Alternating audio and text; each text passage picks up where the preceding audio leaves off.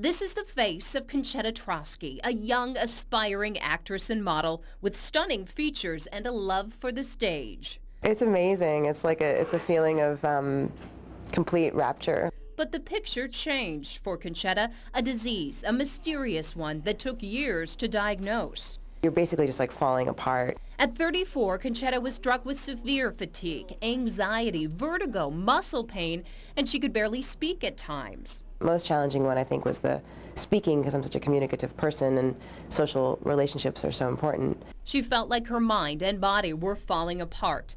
And in a way, they were.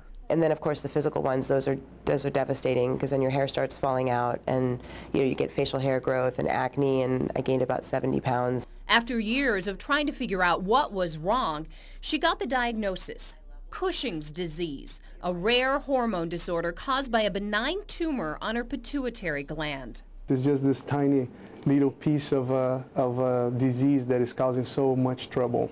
Dr. Daniel Prevedello, a brain surgeon at the OSU Medical Center, found a way to remove the tumor through Conchetta's nose.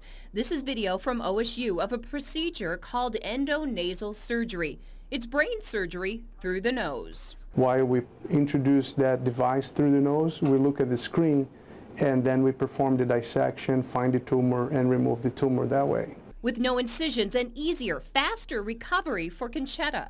And then again, I feel like I'm in like water. And with her tumor out, she can now get back to her career. Take it easy and really just, you know, let my body recover in its own time. And so acting will come back when I start feeling like I can, you know, stand on a stage without falling off it or something.